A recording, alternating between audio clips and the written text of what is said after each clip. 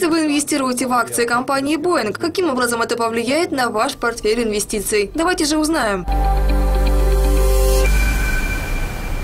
Boeing – это мировой бренд, американская корпорация, один из крупнейших мировых производителей авиационной, космической и военной техники, контрактор оборонительного сектора. Но больше всего эта компания известна своими самолетами. Если вы путешествуете, наверняка вы часто летаете на самолетах таких компаний, как Airbus и Boeing. Но если вы летели на самолете из Бразилии или Китая, то, возможно, вы пользовались услугами других компаний. На сегодняшний день в мире Boeing – это безусловный лидер по производству коммерческих самолетов.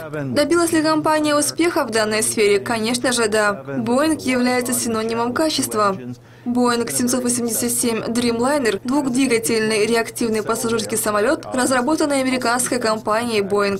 Это очень успешная компания. Каким же образом они зарабатывают деньги? В основном компания продает свои самолеты. Также они являются подрядчиком оборонительного сектора. И все это вам необходимо учитывать, если вы решили инвестировать в акции компании Boeing. США много тратят денег на оборонительный сектор. Между тем, новоизбранный президент Дональд Трамп и его республиканская администрация администрация нацелена на то, чтобы увеличить расходы в сектор обороны страны. И на фоне этого, конечно же, компания Boeing очень выиграет. Это также положительно повлияет на доходность таких компаний, как Lockheed Martin и Grumman. Однако Boeing является самой крупной компанией в данной сфере. Поговорим о цифрах. Самый максимальный уровень, на котором торговались акции этой компании, находится в отметке 155 долларов за акцию. Это довольно высокая цена для компании Boeing. Портфель заказов отличается высокими показателями показателями. 5600 заказов на гражданские самолеты. Это означает, что даже если компания будет производить по 500 самолетов в год, контракты на поставки самолетов могут обеспечить им прибыль на протяжении следующих 10-15 лет. Наверняка все, кого вы знаете, когда-нибудь пользовались услугами компании Boeing. Люди постоянно путешествуют.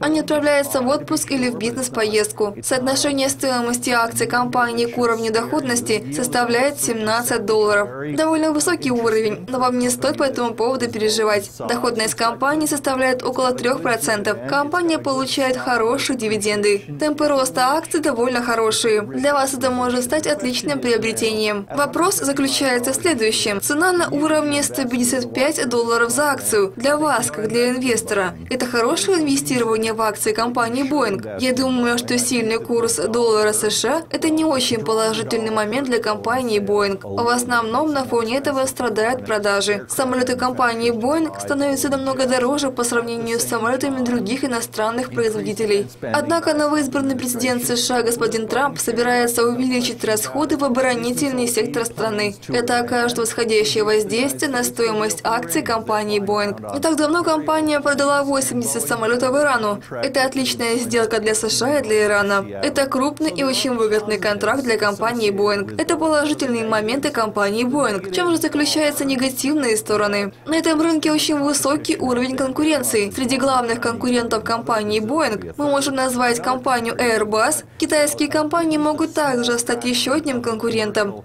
Бразилия также стремится к тому, чтобы занять хорошую позицию на рынке коммерческих реактивных самолетов.